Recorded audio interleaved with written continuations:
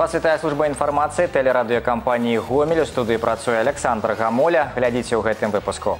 Дыялог з уладай Юрый Шулейка сёння сустрэўся з жыхарамі рэгіёна ў гомелі. Абарона правоў і інтарэсаў вынікі работы прававой інспекцыі працы сёння разгледзелі на пасяджэнні прэзідыума савета прафсаюзаў. Не марнаваць часу доўгім чаканні ў пункце пропуску новая гута адкрылі сервісную зону. Па грошы ў лес, колькі можна зарабіць на зборы чарніцы, даведаліся нашы карэспандэнты. А зараз аб гэтым і іншым больш падрабязна. Сёння памочнік прэзідэнта Рэспублікі Беларусь інспектор па гомельскай вобласці Юрый Шулейка выслухаў звароты гамянчан падчас асабістага прыёму. Сустрэча за жыхарамі гомеля прайшла ў гар выканкамі. На дыялог з Юрыем Шулейкам запісаліся 14 чалавек. Большасць з іх даўно і добра вядомыя прадстаўнікам улады, якія таксама прымалі ўдзел у прыёме. Так і 8 чалавек звярнуліся з пытаннямі адказы на якія даўно атрымалі з розных службаў, але гамяльчане засталіся незадаволенымі тлумачэннем іх сітуацыі і прыйшлі на прыём. Зразумела, чарговая праверка па кожным звароце будзе праведзена яшчэ раз. Людзям пры неабходнасці акажуць і матэрыяльную дапамогу. Але анулировать, напрыклад, судовыя рашэнні гэта не ў кампетэнцыі інспектора па гомельской области. Встреча в городе была запланирована. Конечно, мы готовились к этому приему, понимая то, что наверняка граждане много раз уже обращались различные инстанции, в том числе суды, пройденные вплоть до Верховного суда. Много очень вопросов предварительно было записано, опять-таки, с жалобами на органы непосредственно милиции, к сожалению, прокуратуре, то, что недосконально якобы рассмотрены их дела. Поэтому прием сам по себе, видимо, я считаю нелегким, нелегким, но в то же время это еще один раз шанс, может быть, разъяснить тем гражданам, которые просто-напросто, я считаю, уже атакуют органы власти для того, чтобы получить окончательный ответ. Но, к сожалению, не к сожалению, а по факту, они имеют четкий, исчерпывающий уже ответ, и вот эти намогания, старания, которые они э, предъявляют к нам сегодня, я считаю, что это уже э, законченные дела, которые нужно э, чтобы имели они уже окончательную форму, то чтобы гражданам мы могли объективно по закону отказывать в обращении приема по данным вопросам, потому что они разъяснены уже от начала до конца по вертикали всеми структурами. Але не толькі са скаргамі звярталіся гараджане, прагучала і прапанова. У чэрвені гэтага года па ініцыятыве гамяльчаніна любенскі пляж абвешчаны ветлівым. Ідэя заключалася ў тым, каб прывучыць наведвальнікаў адпачываць культурна, не смеціць, не лаяцца, выконваць правілы паводзінаў на вадзе і беразе. Сваю справу валанцёр жадае распаўсюдзіць на ўвесь савецкі раён гомеля, на тэрыторыі якога знаходзіцца гэты пляж. Як зрабіць ветлівым увесь раён, адказу пакуль няма. Юрый Шулей Галейка параіў гамяльчаніну стварыць праграму і прадставіць яе на разгляд у адміністрацыю раёна. Сельгаспрадпрыемствы рэгіёна завяршаюць уборку азімага рапсу. Ён абмалочаны на 94 процентах плошаў. Цалкам гэтыя работы скончаныя ў 10 раёнах. Сабрана больш як 40 тысяч тонн. Зараз аграрыі актыўна ўзяліся за збожжавыя. Пададзеных на раніцу ў рэгіёне ўбрана 8 процентаў пасяўных плошаў. У лідарах па тэмпах работ Хоніцкі раён, дзе абмалочана ўжо 37 процентаў ад плана. Кааператары гомельскай вобласці перавысілі мінулагоднія аб'ёмы нарыхтоўкі чарніцы. Сезон яшчэ не завершаны, а ў жыхароў рэгіёна ўжо закупілі звыш 160 тонн ягады. Улетку 2017 года паказчык складаў крыху больш за 150 тонн. Асноўная нарыхтоўка дзікаросаў вядзецца ў жыткавіцкім лельчыцкім акцябрскім і светлагорскім раёнах. На пошукі чорнага золата беларускіх лясоў адправілася Яўгенія Кухаронак. Одну ягадку бяру, іншую прымячаю. З пачаткам сезону паспявання чарніцы ў лес накіраваліся і стары і малады. Аматары збіральніцтва зарабляюць на гэтым добрую прыбаўку да зарплаты ці пенсіі. За кілаграм чарніцы ў гомельскім рэгіёне можна выручыць ад трох з паловай да чатырох з паловай беларускіх рублёў. Любоў Мароська разам з сястрой яшчэ ў дзяцінстве хадзілі ў лес па ягаду і зараз свайму захапленню не змяняюць. З пачатку сезона яны збіраюць свае стандартныя чатыры вядры па 5 літраў. У добрае надвор'е аб'ёмы нават крыху павялічваюць. Працоўны дзень пачынаецца на досведку 5 гадзін раніцы завяршаецца ў 10. Сёння, да прыкладу, на дваіх ім удалося зарабіць 90 беларускіх рублёў. А ну вот мы вот с такого вот в этот лес ходили. Раньше мы пешком вообще ходили через реку и сюда ходили в лес. А теперь, ну, конечно, денежки не помешают. И, конечно, удовольствие получаю от этого. Себе тоже ставлю. Вареники Это сразу, как только первая ягода, вареники. А потом ну, компот закатываем и э, морозим ягоду, варенье варим. Акрамя стацыянарных кропак прыёму дзікарослай ягады ў рэгіёне працуюць і выязныя пункты. Машыны райспажыўтаварыстваў прыязджаюць за свежай чарніцай прама ў лес. Перш-наперш праверка на радыяцыю. Дапушчальная норма для таго, каб ягада трапіла на рынок 185 бекерэляў на кілаграм. У Беларусі з чарніцы робяць джэмы, напоі і дзіцячае харчаванне. Разам з тым ягада пастаўляецца на продаж і перапрацоўку ў краіны Еўрасаюза. У мінулым годзе са 153 тонн ягады, закупленай у гомельскай вобласці, 120 тонн экспартировали экспортировали в Прибалтику и Польшу. Урожайность в этом году очень хорошая. И культурные, и дикорастущие ягоды, и все, что выросло, все, что люди хотели сдать, они сдали нам в райпо. Ягода делится на товарную для промпереработки. Товарная ягода, значит, мы ее реализуем в сети, либо на рынках, на каких-то таких выездных торговлях, на площадях. А для промпереработки ягода идет э, на производства соков, джемов, где-то, может, плодово-ягодных каких-то вин и так далее. Акрамя чарніцы ў рэгіёне нарыхтоўваюць таксама і садовыя ягады. У краіне гомельскі спажыўсаюз займае першую пазіцыю па закупцы чарэшні, вішні, маліны і чырвоныя парэчкі. На другім месцы па нарыхтоўцы клубніцы, суніцы і чорныя парэчкі. У хуткім часе пачнецца сезон ціхага паляўніцтва і кааператары рэгіёна адкроюць масавы прыём грыбоў. Па словах спецыялістаў, лісічкі будуць закупацца прыкладна па 5 рублёў за кілаграм. Дарэчы, сабраныя грыбы і іншыя дзікаросы можна самастойна прадаваць на рынках, як увогуле і гародніну з садавінай, коли маются лишки. Любой житель нашей страны, который вырастил продукцию на своем участке садоводческом, либо э, дикорастущую собрал в лесу, может быть беспрепятственно, э, либо сдать торгово-закупочное предприятие рынка Гомельского центрального, либо сам продать. Но прежде чем продать продукцию, вот, она должна пройти э, лабораторную экспертизу. У нас на территории рынка находится э, ветлаборатория, где работают компетентные врачи. На основании предоставленной продукции, они выписывают талон, э, где указывается норма э, дозволенного либо радиационного фона, там, либо нитратов.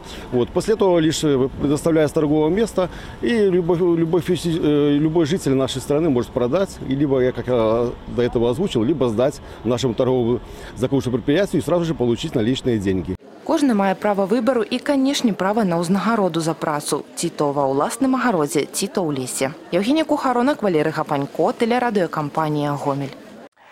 Удзел у судовых пасяджэннях і складання дзесяткаў працэсуальных дакументаў вынікі сёлетняй работы прававой інспекцыі працы прафсаюзаў сёння агучылі на пасяджэнні прэзідыума савета абласнога аб'яднання.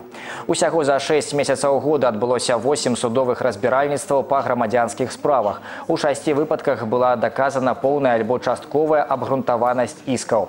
Акрамя таго, спецыялісты з пачатку года склалі звыш 50 працэсуальных дакументаў. Прававыя інспектары ў першым паўгоддзі па розных розных працоўных пытаннях правялі звыш 400 кансультацый для жыхароў рэгіёна. Людзі атрымлівалі адказы по тэлефоне, а таксама падчас асабістых і выязных прыёмаў. Граждане обращались по вопросу восстановления на работе, о признании увольнения незаконным. Обращались о взыскании невыплаченного расчета э, в связи с увольнением, о понуждении нанимателя к увольнению. Также были и иные исковые заявления. Актуальная информация об правоохоўнай дзейнасці прафсаюзных арганізацый гучыць па радыё трансліруецца на тэлебачанні, друкуецца ў газетах і размяшчаецца на афіцыйным сайце. Ролю інспектараў у вырашэнні праблем работнікаў плануецца яшчэ раз агучыць і растлумачыць увосень падчас ток-шоу на тэлеканале Беларусь 4 гомель. Такое пажаданне выказаў старшыня гомельскага абласнога аб'яднання прафсаюзаў Алексей Нявераў. З надыходам адпускнога сезону колькасць легкавога транспарту і аўтобусаў, якія перамяшаюцца праз мяжу, значна павялічылася. Найбольшыя чэргі адзначаюцца ў пункце пропуску новая гута. Менавіта праз яго часцей за ўсё турысты едуць на адпачынак ва ўкраіну. Як правіла, раніцай транспартнага каравану ў новай гуце не назіраецца. Ён з'яўляецца пераважна ў другой палове дня і ў выхадныя. Каб зрабіць перыяд чакання максімальна комфортным для водителей и пассажиров, тут абсталявалі спецыяльную сервисную зону. Яна ўключыла прасторную крытую альтанку з драўлянымі столікамі і лаўкамі, прыдарожную гандлёвую кропку з гарачым харчаваннем і свежай выпечкай і аўтаматы з газіроўкай і кавай. Прадугледжаны стацыянарныя прыбіральні і кантэйнеры для смецця. У сонечнае надвор'е будуць выстаўляцца дадатковыя столікі. У цэлым можна арганізаваць каля 70 пасадачных месцаў. Праект рэалізаваны па даручэнні старшыні аблвыканкама Уладзіміра Дворніка. Пляцоўка абсталявана адпаведнымі службамі гомельскага райвыканкама, жлёва-камунальнай гаспадаркі, лясгаса і райспажыўтаварыства. У далейшых планах запусціць у новай гуце сістэму электронная чарга. Будет там вот площадка, где вы знаете заправка, она будет расширяться. Будет стоять большая стационарная площадка для грузового и легкового транспорта. Люди через интернет могут записаться на очередь, посмотреть. И в зале ожидания на площадке дождаться своей очереди и пересекать границу, чтобы не создавать э, большие транспортные очереди. Пакуль жа пры планаванні паездкі рэкамендуецца вывучаць дадзеныя аб чэргах у пунктах пропуску. Такая інфармацыя ёсць на сайце дзяржаўнага пагранічнага камітэта. Пра тое, як захаваць здароўе сэрца пойдзе размова заўтра ў праграме дыялог. Госцей студыі стане галоўны ўрач гомельскага абласнога клінічнага кардыялагічнага цэнтра Вольга Лях. Глядзіце дыялог у прамым эфіры на тэлеканале Беларусь 4 заўтра ў 19 гадзін 20 хвілін. Свае пытанні вы можете задаць, патэлефанаваўшы па нумары прамога эфіру ў гомелі 34 20 43 ці з дапамогай вайбера. ВНУ Беларусі сёння завяршылі прыём дакументаў на бюджэтныя месцы. З 18 ліпеня пачынаюцца уступныя выпрабаванні, якія праводзяцца непасрэдна ва ўстановах адукацыі. Залічэнне на бюджэт працягнецца да 28 ліпеня, у сілавых ВНУ па 24, у творчых па 28 ліпеня. Прыём дакументаў на вакантныя бюджэтныя месцы дадатковага набору ў дзённай і завочнай формах у большасці ВНУ пройдзе з 30 ліпеня і па 1 жніўня. Інфармацыя аб наяўнасці колькасці вакантных месцаў будзе размешчана на сайтах ВНУ да 29 ліпеня. Гомельскі драмтэатр завяршае 79 сезон прэм'ерай спектакля каханне без тармазоў. Прэмерныя паказы адбудуцца 25 і 29 ліпеня. Камедыю па п'есе беларускага драматурга Мікалая Рудкоўскага упершыню гледачу прадставіць рэжысёр Андрэй Шыдлоўскі. На сцэне разгорнецца любоўны трохвугольнік, удзельнікамі якога стануць замужняя маладая жанчына і двое мужчын. Адзін з іх муж, другі стане героем яе жыцця пасля аўтакатастрофы. Умоўна пастаноўку можна назваць кінафільмам у тэатры. Персанажы адначасова будуць уцягнутыя ў сюжэтныя перыпетыі на сцэне і на экране, дзе яны стануць часткай вядомых фільмаў. Гледачоў чакаюць багаты відэарад, нестандартныя рашэнні і ўчынкі галоўных герояў і нечаканы фінал. Музей гісторыі горада Гомеля заўтра правядзе дзень адкрытых дзвярэй. Пастаянна дзеючыя экспазіцыі установы можна наведаць абсалютна бясплатна. Наведвальнікі ўбачаць гарадскія інтэр'еры канца 19 пачатку 20 стагоддзя. Яны займаюць адразу тры выставачныя пляцоўкі. У прыватнасці прадстаўлена сталовая, спальня і кабінет бібліятэка, у якіх некалі жылі прадстаўнікі дваранскіх сем'яў.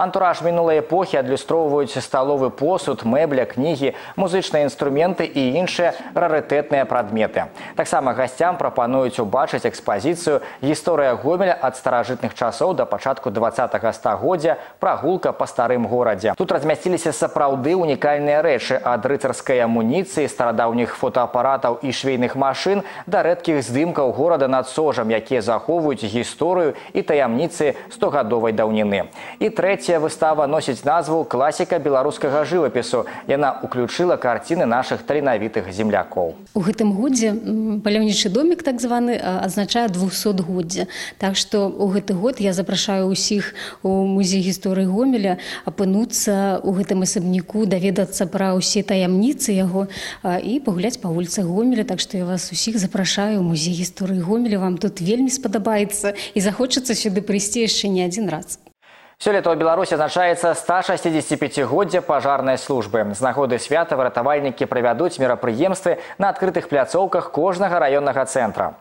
У гомелі святочныя мерапрыемствы пройдуць у суботу 28 ліпеня на цэнтральнай плошчы горада і ў парку. Тут будуць працаваць розныя тэматычныя і конкурсныя пляцоўкі. Кожны зможа праверыць свае веды ў галіне бяспекі жыццядзейнасці і атрымаць прыз.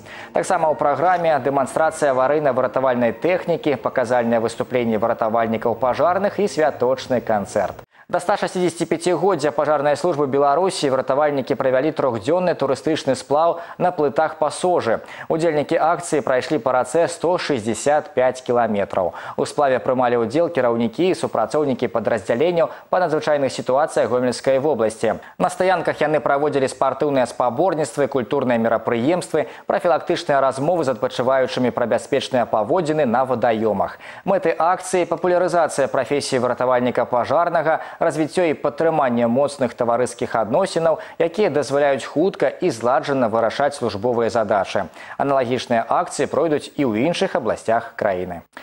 Гэта іншыя навіны вы можете знайсці на нашым сайце ў інтэрнэце па адрасе трайной w кропка цівергомел кропка бювай. Далей дэ-факта і спартыўны агляд. Я з вами развітваюся. Усяго добрага і да сустрэчы ў эфіры.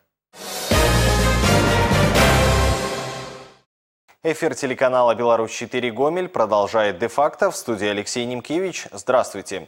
Очередной успех в борьбе с коррупцией. В Мозыре сотрудники финансовой милиции разоблачили схему закупки запчастей по завышенной стоимости и отмывания государственных средств. В недобросовестной торговле был замешан начальник технического центра Мозырь Агропромснаб и два руководителя частных компаний.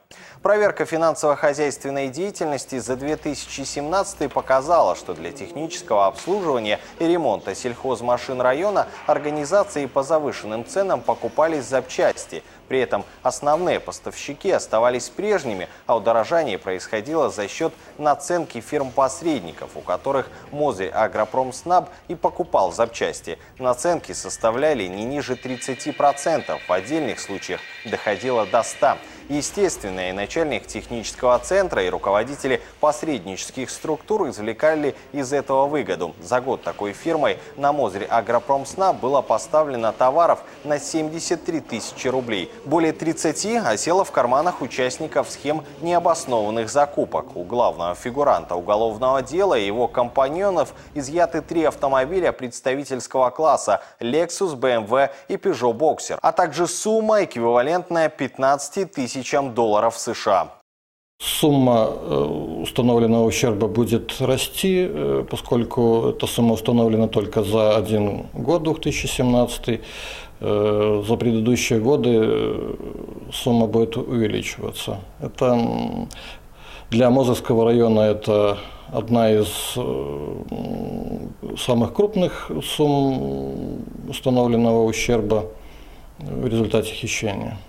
Накануне суд Петриковского района вынес приговор 57-летнему водителю Калинковичского молочного комбината, по вине которого в ноябре прошлого года погибла целая семья, в том числе и трехлетний ребенок.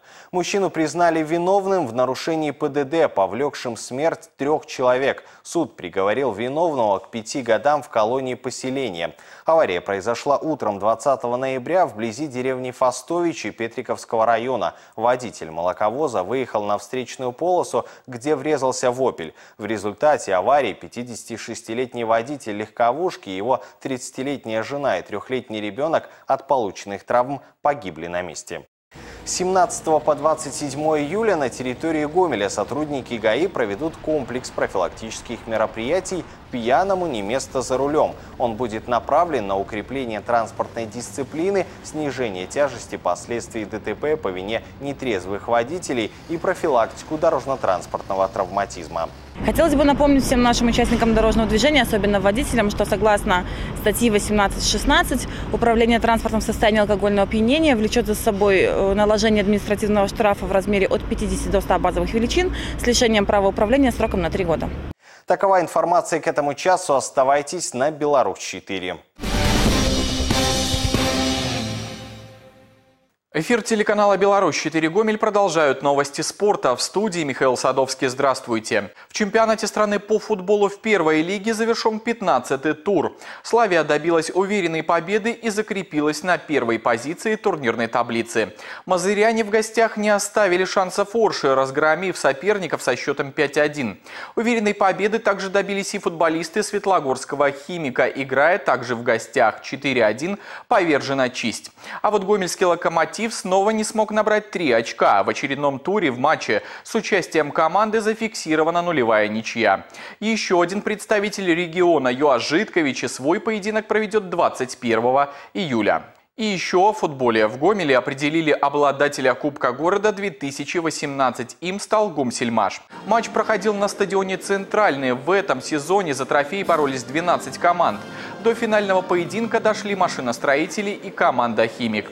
Игра получилась достаточно напряженной. Соперники старались играть аккуратно. Цена ошибки была слишком высока. И все же первый мяч был забит после нарушения правил. В ворота Гумсельмаша был назначен пенальти, который безошибочно реализовал Алексей Кудрявцев. Счет на 78-й минуте сравнял Сергей Ковалев после отличного удара издали. Победителя выявили лишь в дополнительное время. Отличился вышедший на замену замену Станислав Кудрицкий. 2-1 и кубок над головой поднят футболистами Гомсельмаша. Стало известно расписание игр мужской и женской команд гандбольного клуба «Гомель» в сезоне 2018-2019. Стартуют игры в субботу 1 сентября.